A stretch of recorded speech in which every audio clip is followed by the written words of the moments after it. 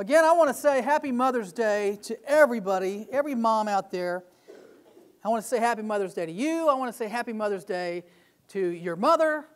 And I think of Genesis where it says, honor your father and your mother. And this is a day where not only do you have to listen to the biblical mandate, if you don't do it, there's a lot of repercussions at home. I mean, I see a lot of kids here whose mom said, All I want for, for Mother's Day is that you come to church with me. I know that. I know that. It's okay. It's good. I'm glad that everybody's here. Today's a crazy day in some respects. Think about it. I mean, I'm one of the guys that early this morning before I came to church, I went to the store to get the freshest flowers that I could, and I wondered how many people worked all night long to set up all of these flowers at Central Market. And there were a bunch of guys. I mean, as I left, cars were piling in the grocery store. and after church, it's going to be worse. Um, but this is a day where you get to go to brunch, you get the one prix fixe, you know, get all menu. It's expensive. It's, it's a crazy and good day.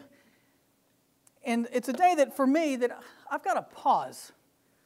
And I, we, we all should pause. And for me, this is a day where um, I, have realized how blessed that I am. I've got a wife who uh, is just amazing.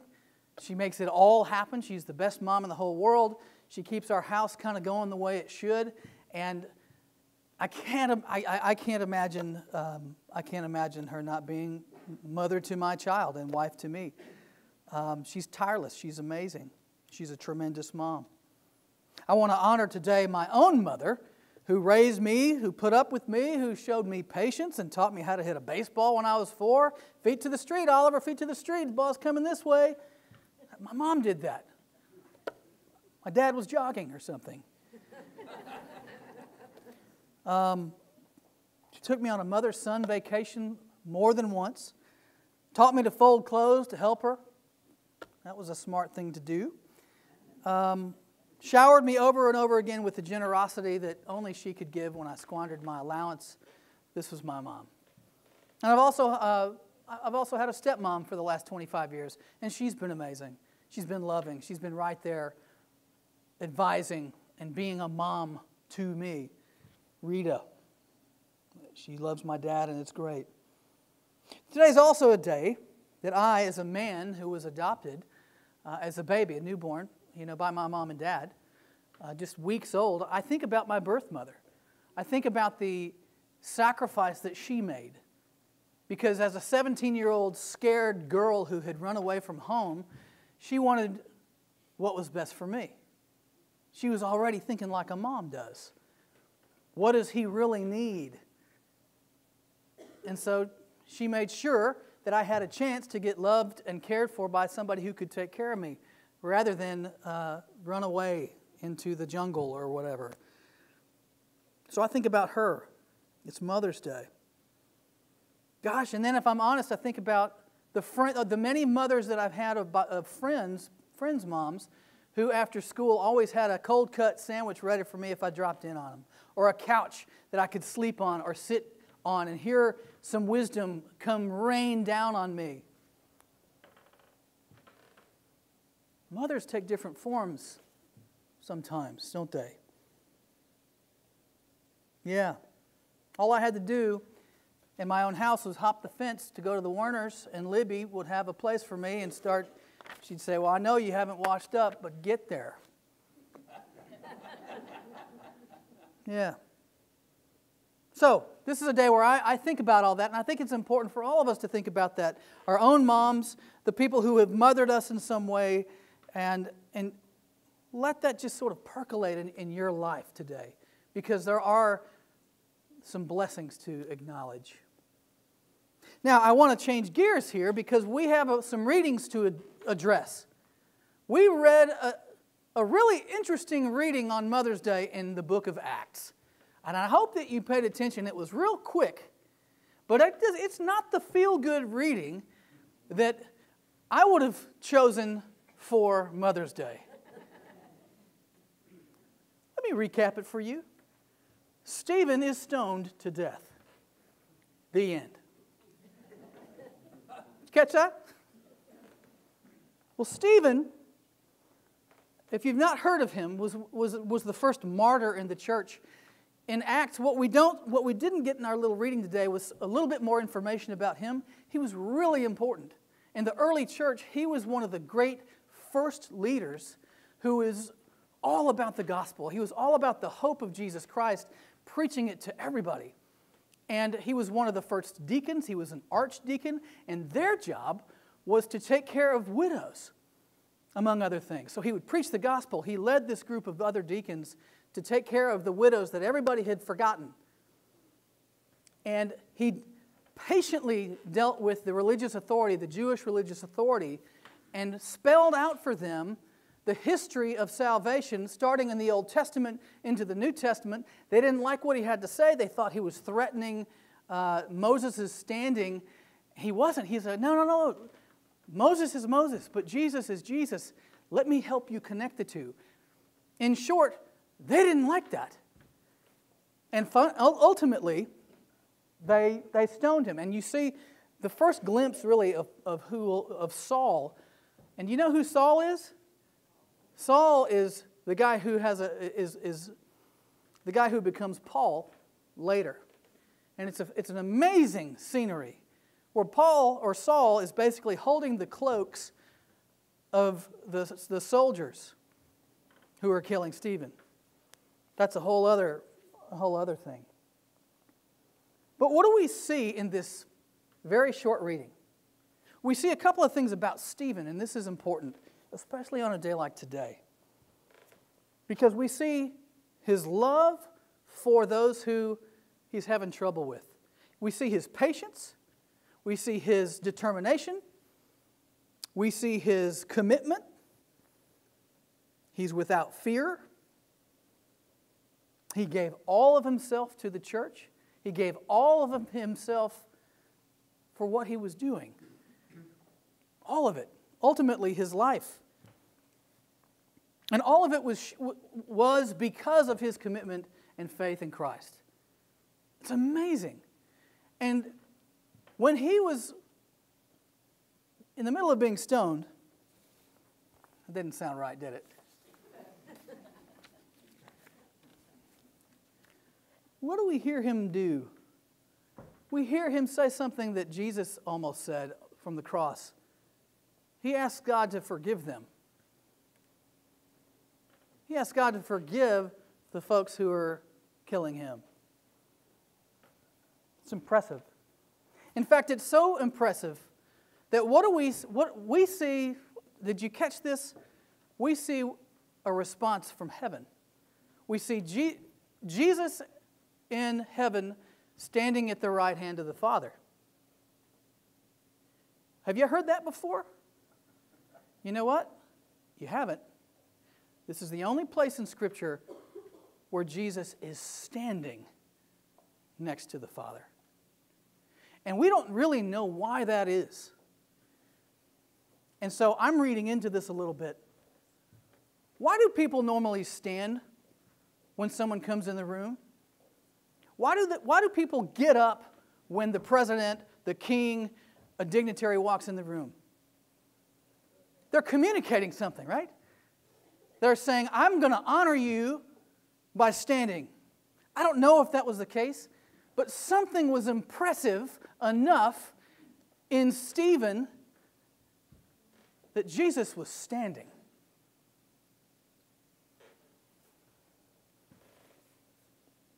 It's impressive to Jesus.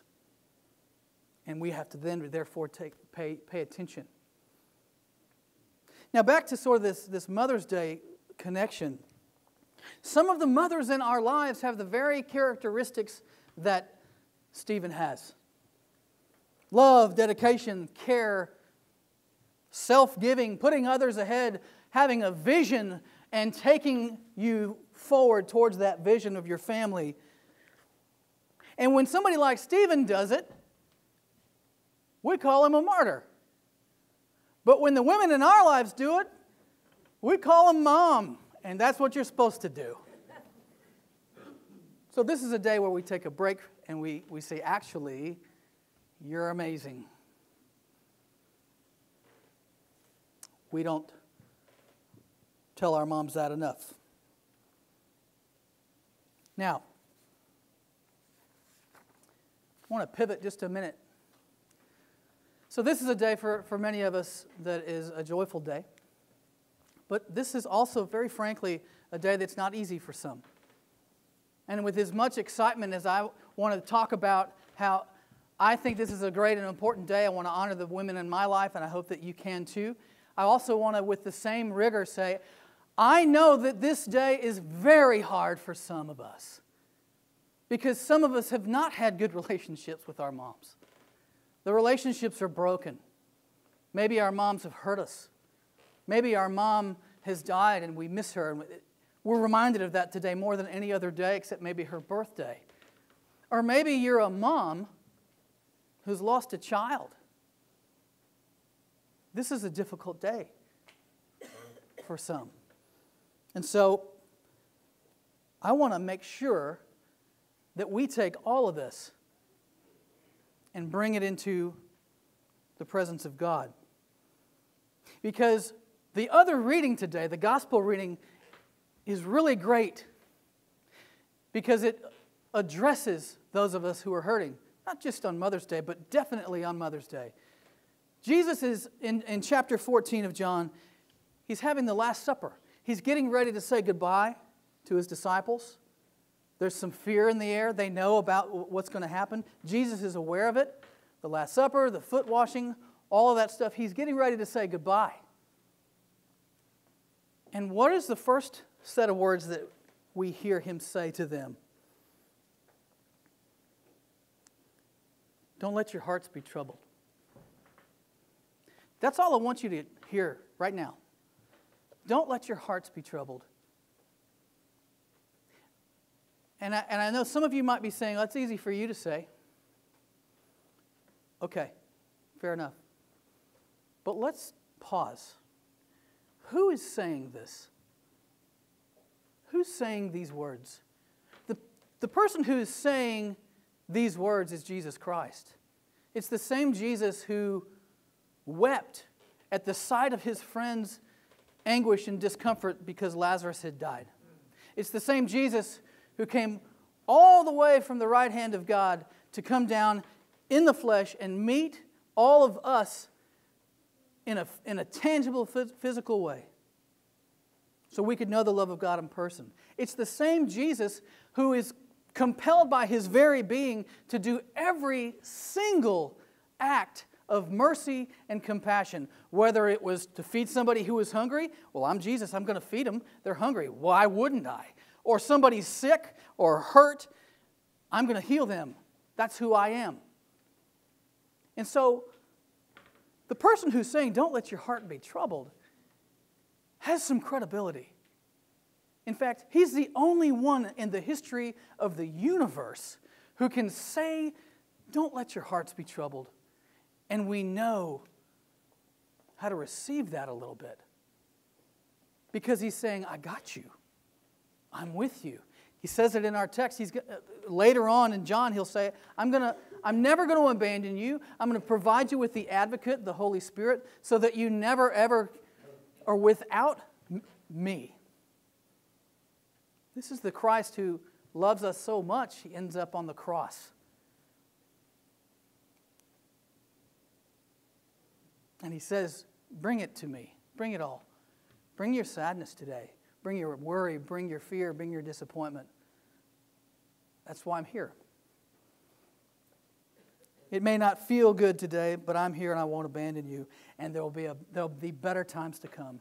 One day, this is all going to be better. And he, I can imagine him sitting with me and, and sitting with you and saying, Let me tell you something. After he gives you a big hug and may cry with you. He says, Let me tell you something. I'm here. I came so that you may have life and that you can bring all this stuff and, and you can lay it at the foot of my cross. That's why I've died. And one day, to quote Revelation, he will wipe away every tear from their eyes, and death shall be no more. Neither shall there be mourning, nor crying, nor pain anymore. So, we've got two very different feelings today, potentially. For some, this is the greatest day of the year, and I'm excited about that. For some, this is a very difficult day. And both perspectives matter. They matter to me, they, matter, they should matter to the body of Christ. I know they matter to the Lord. For some, this is such a hard day, they, they leave town, or it's hard to get out of bed. I've been trying to reach one of my friend's moms. My, two of my, these, these women I was talking about have lost their sons, and I can't reach them. And I know why. One went to Mexico, and the other one went to her, her Bay house. I, I can't even give them flowers on, on Mother's Day because they're absent. It hurts too much. So you've got to let the love of Christ, the love of God the Father, into this. Because it's the Father, the providing Father, the compassionate Son, and the comforting Holy Spirit. Those together provide our our true home, where we're embraced, we're loved, and we're promised some healing now and perfect healing to come. And so, where do we experience these things? Mother Church. On Mother's Day, when we say honor your mother, we can also let the church be our mother. Have you heard that phrase before, Mother Church? I hope so because it's a place that we're supposed to be able to go because of who Jesus Christ is, who God the Father is, who the Holy Spirit is, where we can go and be comforted, we can find hope, we can have a hug, we can rejoice, we can bring our tears, we can go and be who God made us to be, and together work on who God calls us to be. This is our home. So on Mother's Day, God bless you. Let's pray. Father in heaven, we're grateful today that this is Mother's Day where we, no matter who we are, someone who, for whom this is a, a wonderful, joyous day, or somebody for whom this is a very difficult day, your message is that you love us and that you will ultimately make all things right Lord, would today we pray for those for whom this is a difficult day. We also give you thanks for, for those who have made this day wonderful because they are our moms. In the midst of all of this, Lord, we pray that you be present.